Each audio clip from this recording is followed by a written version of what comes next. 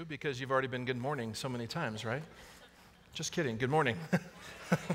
There's like a, there was actually a moment of offense almost right there. Some people, how dare you? No, we're glad you're here, and it's a pleasure to, uh, to, to, worship with you this morning. And I get to preach again. I preached last week, and, and I'm going to pick up on that. We ended our series on the purpose driven life last week, and, and I shared about the Holy Spirit. And the reason I did that, and, and Mark and I felt so strongly about that, is we can't be in our purpose without the Holy Spirit.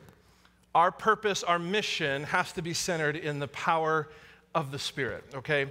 And, uh, and so I, I, I kind of highlighted a, a, key thing that's central to my life, even the way I think, using this little graphic. And, and that basically, without repreaching the whole sermon, is that we are the pre- in the presence of God. Because of Jesus, because of what He's done, we are now the living temple.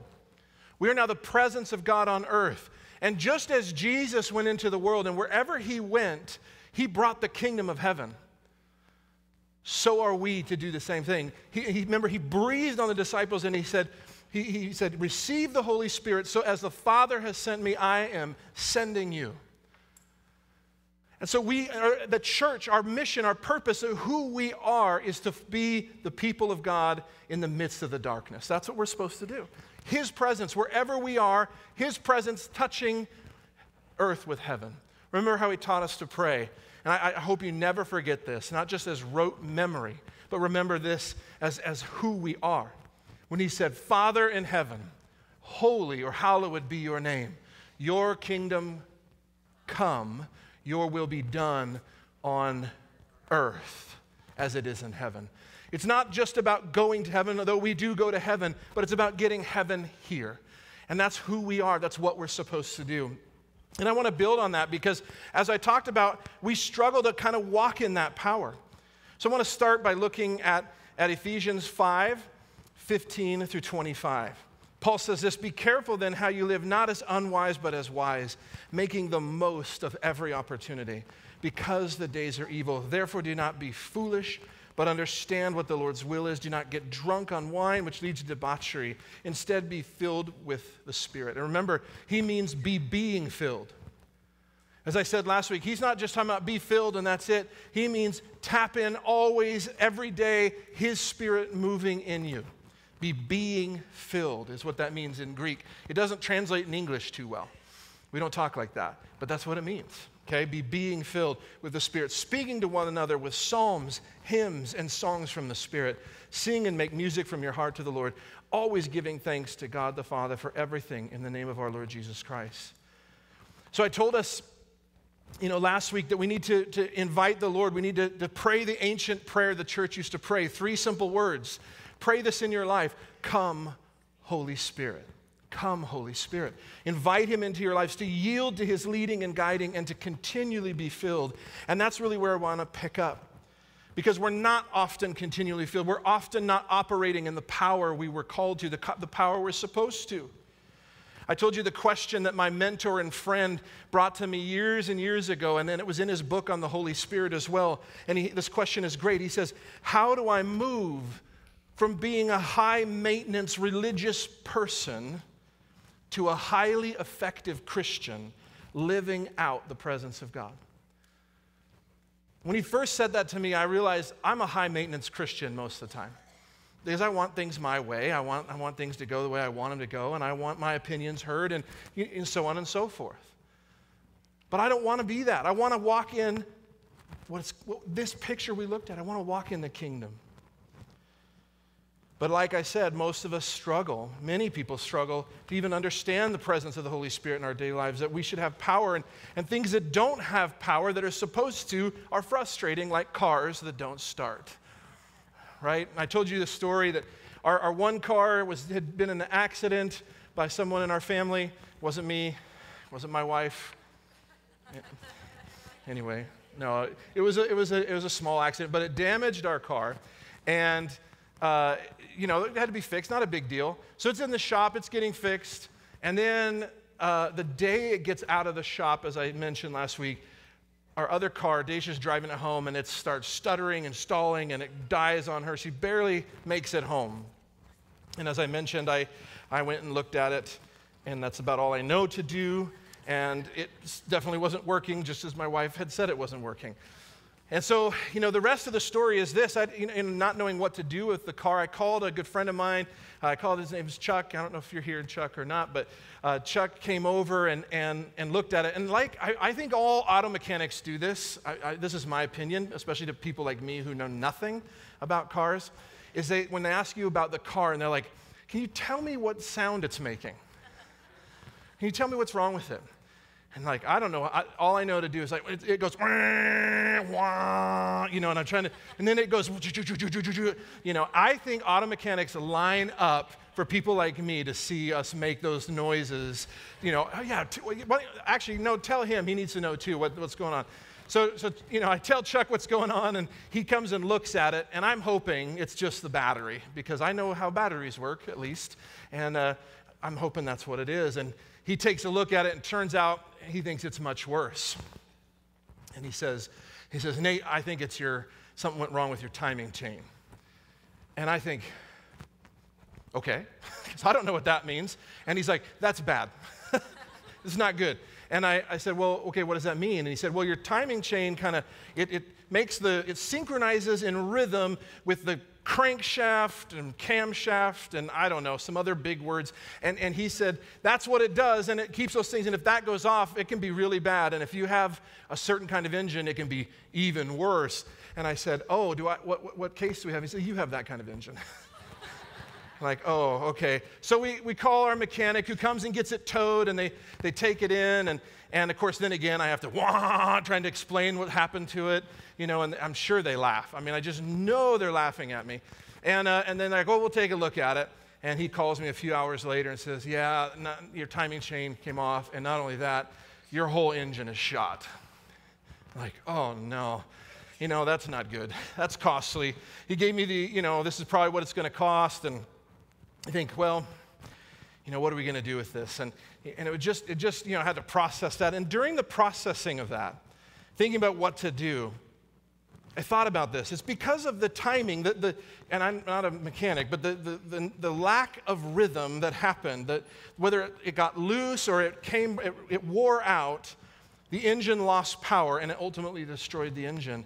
And it was in that moment as I was thinking about that that the Lord spoke to me and He said, Nate, when you're not walking in step with me, when you're not living and walking in my spirit, you're going to lose power. And ultimately, you're going to face failure. You're going to face catastrophic, because that's what he said. You had catastrophic engine failure. I mean, that sounds terrible, right? It's like, like bomb type level. Catastrophic. I love how Paul says this in Galatians 5 25, in the midst of his context of the fruit of the Spirit, which we'll come back to. But he says this Since we live by the Spirit, let us keep in step with the Spirit.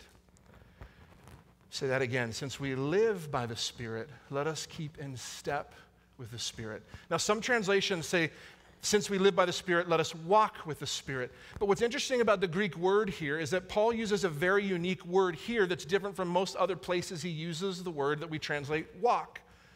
Because what he means is, he says, it's a, it's a keeping in step, in rhythm, in time. It's like a marching or dancing. That if we live by the Spirit, we keep in the rhythm of the Spirit, we keep in the flow of the Spirit. We li- listen to His guidance. This summer, we took a, a team uh, that I was privileged to lead to Scotland uh, to do a mission trip, and we did some work in Scotland. Uh, with a missions organization, some outreach in Glasgow. And, and, and one night, though, we had a break and we, we scheduled a thing where we hired a band and, and we were able to kind of bless the missionary community there as well as the local community. And, uh, and we ha- basically had a hoedown. Now, they, they, it's really, it's not, I've never been to a hoedown ever in my life. and, uh, but I have been to what they call it, and it's, it predates the hoedown. It's called a ceilidh in, in Gaelic. And so we, we went to a ceilidh and, and we, were, we got to dance. And uh, it was a lot of fun, uh, it, you know, except that I danced terribly. And I think I've tried to destroy any image or video that has me in it dancing because it's, it's scary. Really is. But I have some video I want to show you because what's interesting, and so those who were there get to, may not know that they get this to, to see this, but they call out the steps. And if you don't step with the right step, have you ever done this? You, don't, you mess up the whole thing and it just falls apart and it's chaotic and, and then everyone tries to kind of get back on and when i was doing it i was trying to watch the, the guy in the kilt who knew exactly what he was doing i try to watch him and i'm stumbling all over the place but i want to watch this just for fun this video of keeping in step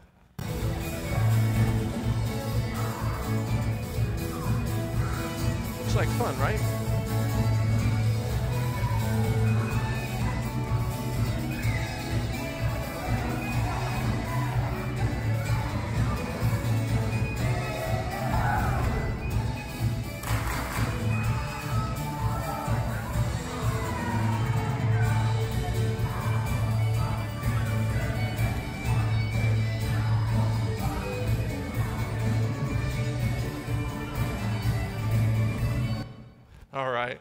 Now, notice the ones who weren't in step. They kind of, you recognize it, right? We won't mention if they're anyone from our church at all. But the truth is, when we're not in step, it falls apart. See, when we get out of step with the Spirit, we lose power in our lives. When we get out of step with the Spirit, we lose power. Yet we live in a society that's completely out of rhythm, out of sync, out of step, not just with the Spirit of God, but with the order that God had set from the beginning. He had set a pattern of rest, of Sabbath. And yet we live in a society that wants constant connection, media, social media, workaholicism, you know, sleep deprivation levels are on an all-time high, obsession with wealth, with fame, and on and on and on. We're glued to our technology. And we've talked about, about that before, but we are living in a society that has no healthy rhythms, that has no pausing, and it's detrimental to our mental and physical and spiritual health. One study done by Microsoft, I, I, couldn't believe this, I had to really double check this. One study by Microsoft shows that our attention spans, especially in the US, have continued to decline over time. Get this, according to this study, our average attention span is eight, not eight minutes, eight seconds.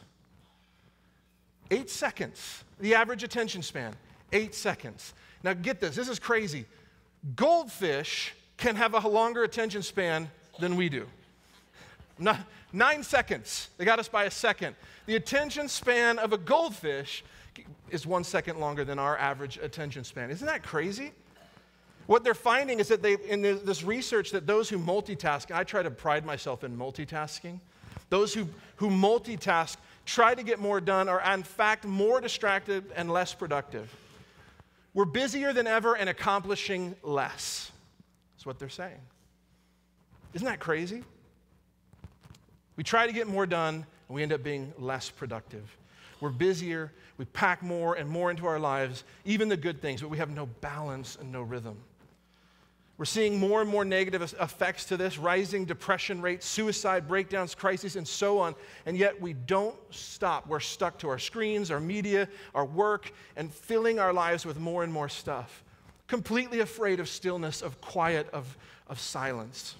Another study done by the University of Virginia showed this, and this is, this mind blowing 25% of women and 66% of men choose to receive electric shocks instead of being left alone with complete silence and no devices or anything for six minutes. They'd rather be electrocuted. Now, I don't know who signs up for these kinds of tests. Maybe they get paid good money. I don't know. Probably college students who are in need of a lot of money. I don't know. But you know, the, the truth is, we are more distracted than ever.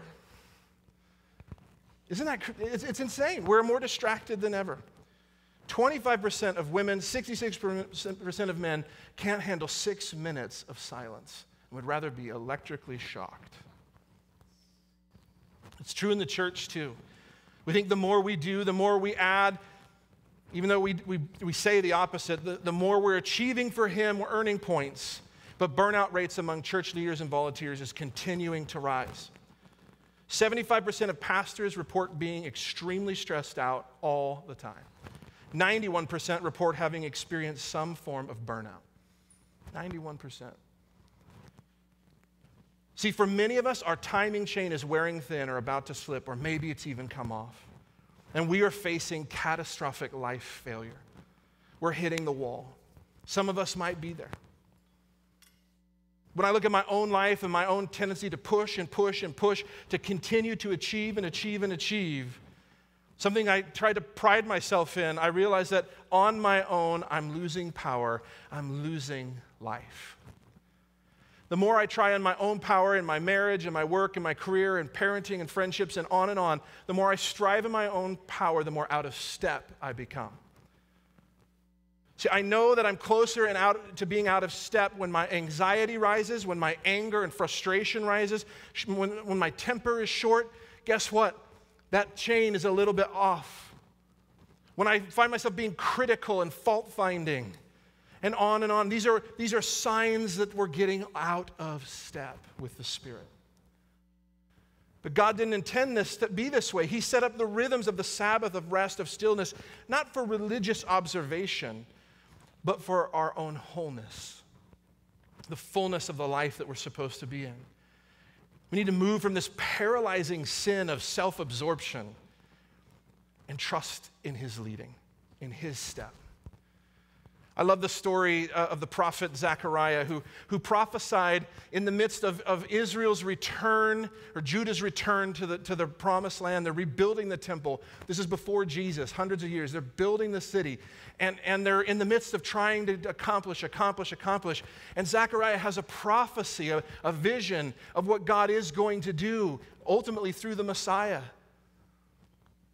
And in all their efforts and all the things they're doing, he says this not by might, nor by power, but by my spirit, says the Lord Almighty. You won't accomplish what you're trying to do on your own. It'll be me, it'll be my spirit. Be in step with me. So I want to go back to Galatians 5 that we looked at at the beginning, and I want to just look at a few verses around that, back a few verses. So if you have your Bibles, turn to Galatians 5 22 through 26. If not, it'll be on the screen. But Paul says this famous passage, but the fruit of the Spirit is love, joy, peace, patience, or peace, forbearance, or patience, kindness, goodness, faithfulness, gentleness, and self control. Against such there is no law. Those who belong to Christ Jesus have crucified the flesh with its passions and desires. Since we live by the Spirit, let us keep in step with the Spirit. Let us not become conceited or provoking and envying each other. See, the passage is, is interesting because in the book of Galatians, Paul is dealing with division in the church doctrinally and morally. He's, he's saying, listen, you can't fix these things on your own. And you've tried to. How did you start with grace and now you're trying to do this all on your own? You can't do it. And so before this, and Mark did a sermon on this a few weeks ago with more detail, I won't go into it. Before it, he has this list of the acts of the flesh or the work of the flesh. If you go back a few verses, you'll see it. We won't for time's sake. But it's interesting the, com- the, the comparison the works of the flesh compared to the fruit of the Spirit. See, the works of the flesh, what's interesting is the word for that, first of all, it means the work, the effort on our own, our own power. But the word for flesh that Paul uses is a unique word that Paul uses in, in a lot of his letters to talk about our fallen nature. It's a Greek word called sarx. Everyone say sarx. See, it makes me seem really smart if I use a Greek word, you know, but uh, no, it, it, it's, it's a simple word, but it's actually unique because what Paul's saying about the, the sarx is it's at opposition with the Spirit. So the sarx seeks to gratify itself. The flesh, he's not talking about flesh and bone, he's talking about our nature that is at odds with the Spirit. And so he's saying, those who work in the flesh, this is what you get. It leads to these terrible things. But the fruit of the Spirit is love, joy, peace, patience, and so on. See, the one is the works, the other is the fruit. It's a product of something. We don't produce it on our own, though we should certainly endeavor for those things. The picture here is one that is a result of the Spirit working in us, changing our desires from the sarx to the Spirit. See, walking by the Spirit is when the desires of the Spirit overpower the desires of the flesh. That's walking in the Spirit. How do we get there? How do we, you know, my tendency when I see things like that is I must do more. I must work harder. I must go to church more. And yes, we do need to go to church and all those things, but it's almost this like, these are the things that'll get me more in tune with the Spirit. And they will certainly help. But I think Paul had in mind the words of Jesus in John 15 when he wrote the fruit of the Spirit. See, that, that passage, which we'll look here in a second, where he talks about being the vine, Jesus had just spoken to the disciples about that he would send the Spirit of truth, he says, the paraclete in Greek, the, the one who would come and bring comfort, who would come alongside. And then he says this I am the vine, and my Father is the gardener. He cuts off every branch in me that bears no fruit. While every branch that does bear fruit, he prunes so it will be even more fruitful. You are already clean because of the word I've spoken to you. Remain in me as I also remain in you. Or he can use the word abide there. No branch can bear fruit by itself, it must remain in the vine. Neither can you bear fruit unless you remain in me. I am the vine and you are the branches. If you remain in me and I in you, you will bear much fruit. Apart from me, you can do nothing. If you do not re- remain in me, you are like a branch that is thrown away and withers. Such branches are picked up, thrown into the fire, and burned. I think that's what they did with my car. If you remain in me and my words remain in you, ask whatever you wish and it will be done for you. This is to my Father's glory, that you bear much fruit, showing yourselves to be my disciples. As the Father has loved me, so I have loved you. Now remain in my love. If you keep my commands, you will remain in my love, just as I have kept my Father's commands and remain in his love. See what he's saying here, and it's important, especially as believers, to recognize this activity does not equal fruit. Activity does not equal fruit, love does. Just because we're busy, just because we have lots of stuff going on, that's not fruit. We have to first be rooted in the love of God. We must first know His love for us to be able to remain in Him, to abide in Him. I love this story that a pastor in our movement who pastors in Hawaii and has pastored there a long time tells a story of a guy in his congregation named Bully. I don't know how he got that name. It's a nice name. Apparently, Bully was actually a very nice, gentle man. And he was talking to Bully one day, and they're at the beach, and he noticed that Bully had massive scars on his hands, even somewhat deforming his hands and his feet. And, and Wayne, the pastor, says to Bully, he says, Bully, what happened? What do these scars come from? And Bully tells him a story. He says, Well, in the 60s, I was at the beach here, and, and at this beach, uh, you know, the tide went out further than it had ever gone, and we'd never seen this. And so families and kids were out in the, in the tide pools catching fish and starfish and just having a great time when all of a sudden, and maybe you know this, what happens? A massive wave began to roll into the area they were in, and the community they lived, and, and people scattered off the beach, and the devastation of the tsunami was terrible. And he, in his, in his desperation, was running to his home where his wife and his six month old son named Robbie was. And he was running to catch up when he got there, and the devastation had hit. And he sees his wife, she's holding onto a tree and she's sobbing. And he, she says, Robbie's gone, Robbie's gone. And he just snapped. He went into a different mode. And he began to dig through the rubbish and the, the corrugated metal and all the different things. And he's plowing through it all. And he finds his son, Robbie, and he pulls him out like a football, he says, and he runs across all this debris. And he gets back to his wife, and there, she's overjoyed. She hugs him, and, and then she's covered in blood because he, she looks at him and he is bleeding everywhere. And what happened? What happened? And in his just his love for his son, it just took over, and he did everything in his power to rescue his son, even at his own expense. That's the love of God that we have to know to be able to abide first. That he would go through everything, even death on a cross, to rescue you. And we cannot abide in the Spirit until we know that. So we start there. So, how do we abide? How do we remain? First, we know his love. Second, I love how Exodus 14 14 says, The Lord will fight for you. You need only be still. Psalm 46, the psalmist says in verse 10, Be still and know that I am God. I will be exalted among the nations, I will be exalted in the earth. How do we abide? Stop. Be still. We abide by being still. It's the opposite of what our flesh would demand. It seems so contrary. We think we need to do, do, do. Appease, appease, appease, whatever it is. And yet, what we to abide, we must be still. You can't, if you're a branch, you can't make yourself more a branch. You understand? You have to be connected. You have to abide. I must simply be, and to simply be, I must know I belong in the love of Christ. The power of stillness is profound. In Jewish tradition, it was said that most of them would pray at least three times a day. In fact, we have scriptures that talk about that kind of morning, midday, and evening. But David in Psalm 119, he, said he, he praises the Lord seven times a day. And we have these pictures, and so it became part of the, the routine, the rhythm of the day of the people of God to pray, to, to, to think on the things of God throughout the day. That later became part of Christian tradition, and the early church practiced something that they called the daily office. Isn't that interesting?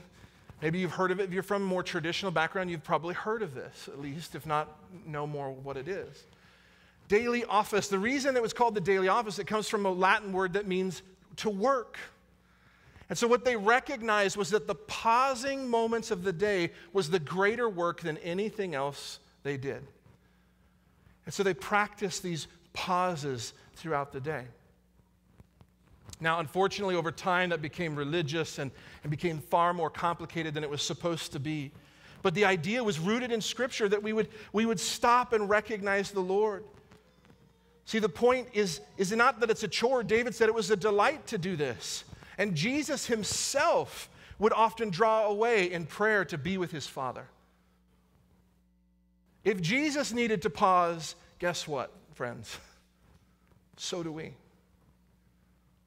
If he needed to stop and be in the presence of his Father, so do we. It's not how much or when. The point is the pausing, the rhythm, the keeping in step with his Spirit. See, I believe this stillness forces us to recognize we're not in control. It does. Stillness forces us to recognize we're not in control. And I like control. Anyone else? I like things to go the way I plan, the way they should go. Stillness is, I'm basically saying, I'm going to stop what I'm doing. That's why the Sabbath was so important and trust that God has it.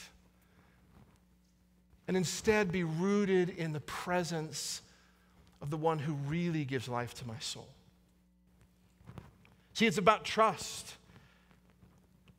I want to be in control.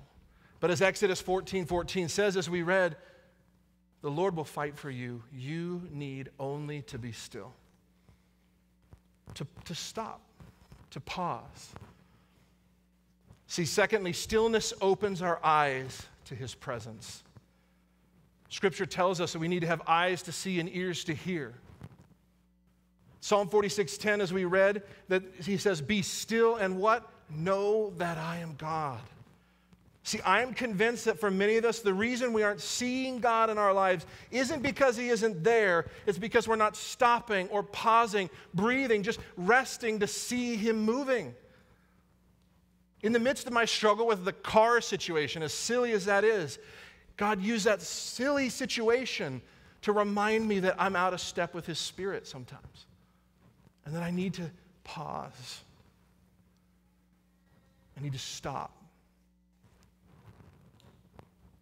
Stillness opened our eyes to his presence. You may know the story of Elijah. I'll just tell you it real quick in the Old Testament, where he has this, he's a prophet and he has great victory over the prophets of Baal. And, and he wins, he sees God do this mighty miracle. And his hope is that, that the, the king of Israel, Ahab, and his wife Jezebel would bring Israel to repentance and come back to the worship of Yahweh. And instead, she says, kill him. And so he goes running off into the woods like a good prophet should. You know, he goes off into the wilderness. He's afraid, he's depressed, he's discouraged. He's at the end of his rope. His timing belt came off. And the Lord provides for him miraculously. And even on all his complaints, the Lord provides for him in the desert. Have you ever been that? Have you ever complained? And yet God still, his merciful hand is there. And the Lord leads him to the mountain of, of God, the Mount, Mount Horeb, where, where Moses had encountered God so long before in fire and, and thunder and all these things. And so he goes there and he expects God to move in fire and thunder and all that. And instead it says those things happen and God's voice was not in them. But he stops and he hears the still, small voice of God. Stillness. And what does the Lord say to him? He says, Elijah, I've not abandoned you. I've not left you alone, not forsaken you. You're not done. Because Elijah thought his life was over. You're not done. And you know what? There are thousands still who've not bowed to Baal. You're not alone. He didn't hear that in all the uproar, he heard it in the stillness. See, stillness doesn't mean dropping all activity. Usually that's what happens when we burn out, we hit engine failure, or we're about there. We stop everything.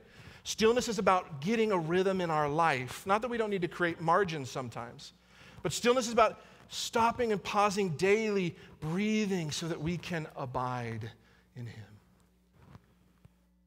See, abiding is about what we're drawing from. Who or what do you draw from in your weariness, in your frustration, in your pain, in your confusion, your anger, your doubt? Who or what do you draw from? What do you go to? Is it, is it entertainment, movies, media, all those kinds of things, games? What is it you're drawing from? Is it other people? Is it power? Is it money? All of those lead to catastrophic failure. And today, like in John 4 to the Samaritan woman, Jesus saying, Come, draw from me living water. Will never fail you. Come and taste and see. See, we, abiding is what we draw from, but stillness forces us to let go of the things we have been abiding in that keep us out of step.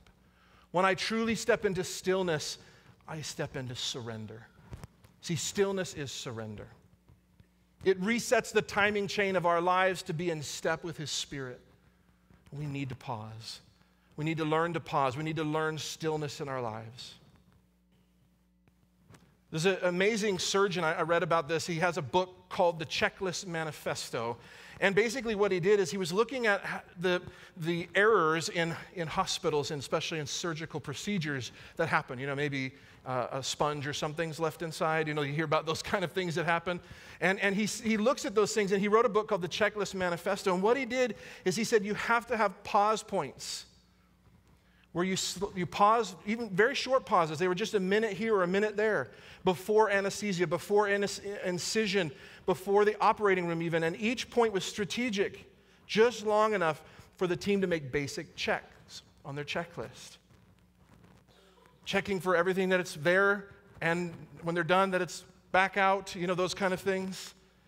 And it wouldn't, you would think that these tiny little pauses wouldn't make a difference. But the results were profound.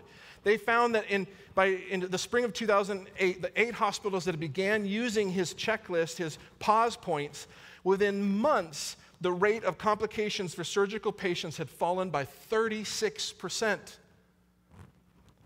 The rate of death dropped 47%. That's huge.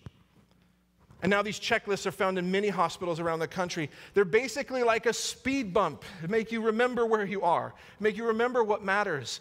You know, we had a, in my old community in Idaho, we had a, a road that was a, um, you know, school zone, and in the summer it was 45, but in school season it was 25.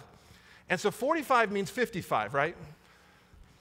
No, no police officers in the room. Sorry, I, I, I, I tend to drive a little faster than I should and get in trouble. But I'm, I forgot that it was uh, school season. And so I'm, the first part of the year, I'm driving 55 and a 25. Now, anyone know that that's not good, right? That's a lot faster than you should go. And there was a speed bump, and I, I slowed down to hit that.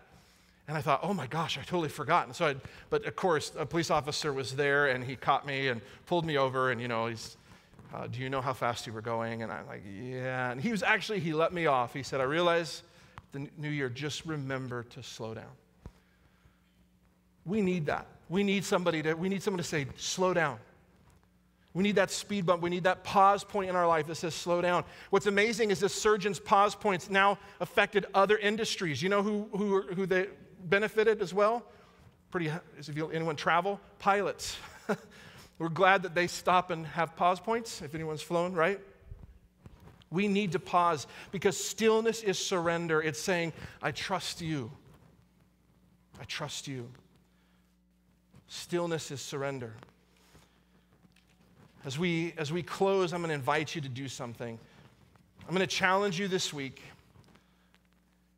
to find three times a day. I know that's crazy to ask this, but I'm going to challenge you three times a day to take five minutes and just pause, to stop. Maybe it's in a car ride to work or, you know, maybe it's at your lunch break or, or something, somewhere where you can pause. And if you're like me, if I stop, I immediately start thinking of the 10 million things I need to do. So I want to give you three things to do instead to help you. Simple. Take these times, and, and I'm, I'm promising you, when we pause, when we get in step with His Spirit, will change our lives. So pause and do these three things. First, pause and invite Him. As I said last week, come, Holy Spirit. How many times would it have been better before you said something to have paused? Or before you made a rash decision to have paused and said, Come, Holy Spirit. Before I make this stupid mistake, come. come, Holy Spirit. Invite Him into your daily life. Ask, Scripture says, ask Him to fill you. Come, Holy Spirit. Invite Him into your life. And that, even though that's all you say, those three words that I gave you last week come, Holy Spirit. Number two, praise Him. As we read in, in Ephesians, that to be, be being filled and, and build each other up with songs, hymns, and spiritual songs. There's something about the power of praise because it forces the focus off of me. Find one thing, one attribute of God to praise Him. Lord, you are so merciful. I don't deserve your love, but yet you've poured it out on me. Lord, you're so mighty.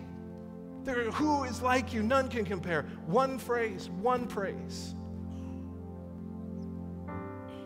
And third, thank Him. Chris, in the midst of worship, asked us to, to kind of reflect and to think of something to be thankful for. My goodness, if we did that every day of our lives, thank Him for, for who He's who, who He is in your life. Thank Him that He's rescued you from death. Thank Him for the people in your life. Thank Him for something. He's done so much. Thank Him. Invite Him. Praise Him. Thank Him. And just pause in those moments. Let there be stillness in your life. Get back in sync with His Spirit. So I'm going to invite us to do something different this morning. I'm going to give us a few minutes, and I actually want you in your seats where you are, just between you and God, even no matter where you're at this morning. And I want you to take, we'll leave this thing up on the screen here, but take uh, these minutes to just do that very thing right now between you and Him. Invite Him. Even if that's all you come, Holy Spirit. And then just a word of praise to who He is. And a word of thanksgiving. And I want to just take a few minutes and let you do that. Pause. Still.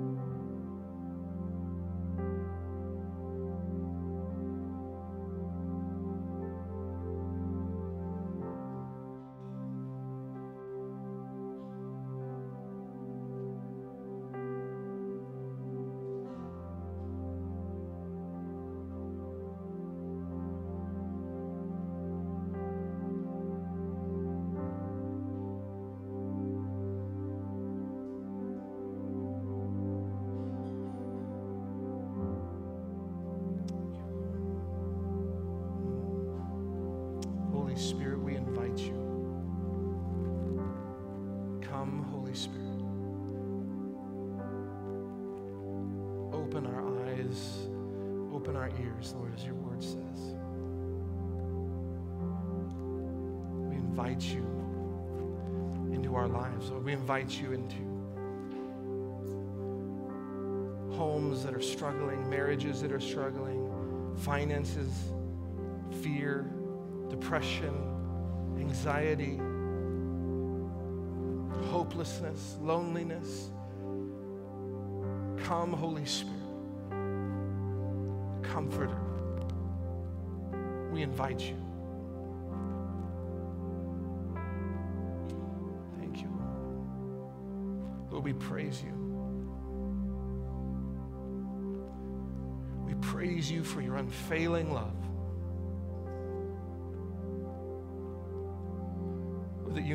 Leave us, you never forsake us. Even when we doubt, even when we struggle, Lord, you are near. Give us eyes to see and ears to hear. We praise you for your faithfulness. We praise you. Father, we thank you. We thank you for your presence that restores and renews. Thank you for your grace. We thank you for your love. Lord Jesus, we thank you for the cross where you paid the ultimate price that we might have fullness of life, paying the cost of our sin so that we could know the fullness of you. We thank you.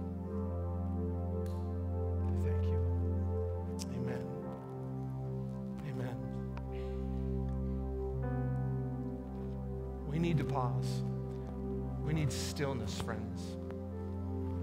I want to invite us to sing, to stand together, and we're going to sing a part of the song that we sang earlier. And it invites us to recognize this truth that we've been saying that He is, He's here. He's always present. So let's declare that, that He is the one who conquers darkness and sets us free, and then we'll close together.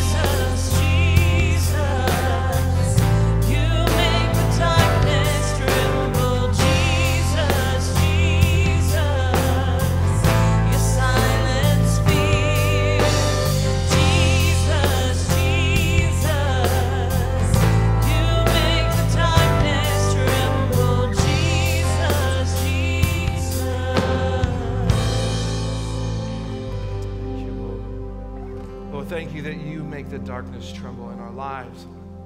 You are stilling our hearts.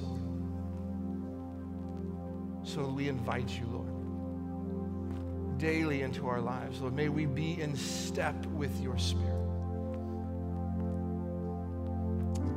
You know, some of you here this morning as we close, there may be some of you who've never known the invitation that Jesus said to the woman at the well that he has paid the price, but he's made a way for you to have rivers of living water, life abundant. He's paid the price for your sins. He, he gave his life so that you could have new life in him. And he's saying, Come and taste and see the goodness of God. And if that's you this morning and you want to know that goodness, you want to know that living water, just with our heads bowed, our eyes closed, if that's you, could you raise your hand where you are? Amen. Amen. Anyone else? Amen. Amen. Anybody else? Amen. In the back, I see you. Yeah. Anybody else? Thank you, Jesus. Anyone else? Thank you, Lord. Thank you, Jesus. Father, we pray for those who've raised their hand. Lord, we pray, Lord, that they would they would know you've forgiven them, you've set them free, that you've paid the price, that they can now know you and walk with you in fullness and know the rivers of living water that you promise, Lord. Your presence with us always, God. Secondly, I, I think some of us here, to use my analogy, some of us, the timing belt is off. Or maybe it's almost off and it's slipping. Some of you, it's been you're in complete failure. You've been trying to fix it, you're pushing, you're trying, doing everything you can to make it work. And Jesus is saying, Be still. Be still. Maybe others, you've, you've tried and tried, and the engine is long gone, and you feel you've failed, and you've continued to fail, and you've given up on all the things that matter, and you've given up on hope. But to the same, he said, Jesus is saying, Come and taste and see. Come be still. Come know. Come abide in me. Like he said to Elijah, You're not done yet. I'm not done with you. I am still with you. I will always be with you. If you breathe new life into you. And if you're in any of those places or you just need a freshness of his spirit this morning to be, be being filled, if that's you this morning, could you just raise your hand? I, w- I want to read a scripture over us this morning. Amen. There's, yeah, anyone else? Raise your hand. Amen. Amen. Lord, fill these people. Breathe freshness of your spirit, freshness of life. Lord, living water flow into these people. Lord, you are the spirit, you are the light. And so, Lord, may they rest in you. Thank you, Lord, and be in step with you. There's this famous passage that I want to read out of Ezekiel where the, the prophet is given a vision of, of, of the restoration of brokenness, of failed, catastrophic failure, like some of our lives today. Maybe we're at different levels of that. But this is the vision, this is the picture he gave, and I hope you receive it. It brings life to your life, to life to your bones this morning. And he says, The hand of the Lord was on me, and he brought me out by the Spirit of the Lord and set me in the middle of the valley, and it was full of bones. And he led me back and forth among them, and I saw a great many bones on the floor of the valley, bones that were dry. And he asked me, Son of man, can these bones live? And I said, Sovereign Lord, you alone know. And in this vision, he, he, the Lord says to him, Prophesy to these bones and say to them, Dry bones, hear the word of the Lord. This is what the sovereign Lord says to these bones I will make breath into you, and you will come to life. I will attach tendons to you and make flesh come upon you and cover you with skin. I'll put breath in you, and you will come to life. Then you will know that I am the Lord. So I prophesied as I was commanded, and as I was prophesying, there was a noise, a rattling sound, and the bones came together, bone to bone. I looked, and tendons and flesh appeared on them, and skin covered them, but there was no breath in them. Then he said to me, Prophesy to the breath, prophesy, Son of Man, and say to it, This is what the sovereign Lord says Come, breath from the four winds, and breathe into these slain, that they may live. So I prophesied as he commanded me, and breath entered them and they came to life and stood up on their feet, a vast army.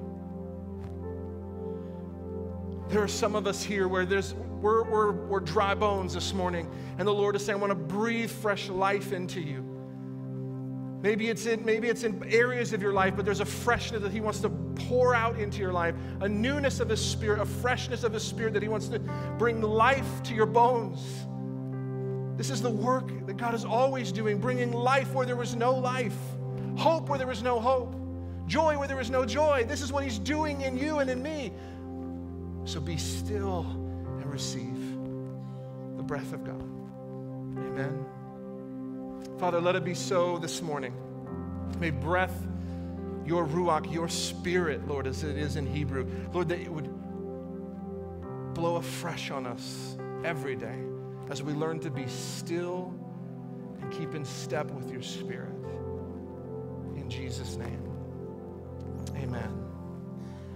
Amen. Listen, there are folks up here who would are available for any prayer. If you need prayer for any reason, please take that opportunity to come up and receive that prayer. Uh, they'd love to pray with you. Otherwise, be blessed.